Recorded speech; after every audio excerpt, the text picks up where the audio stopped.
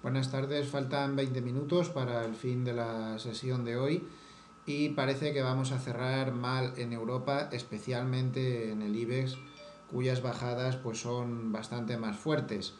Eh, no ha habido muchos cambios en divisas y tampoco en Estados Unidos, que baja ligeramente en una sesión eh, sin muchas complicaciones porque los operadores pues ya eh, están medio de vacaciones, bajo volumen y su mercado no va a abrir hasta el martes. Las bolsas europeas hay que recordar que no abrirán hasta el miércoles.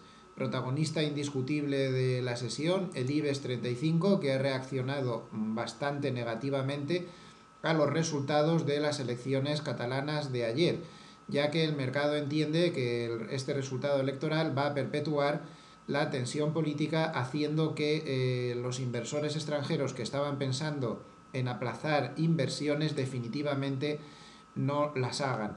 Eh, como los bancos españoles se la han tomado muy mal, especialmente CaixaBank y Sabadell, como suele ser habitual en estos casos, esto ha provocado que el sectorial bancario europeo también lo haya hecho bastante mal.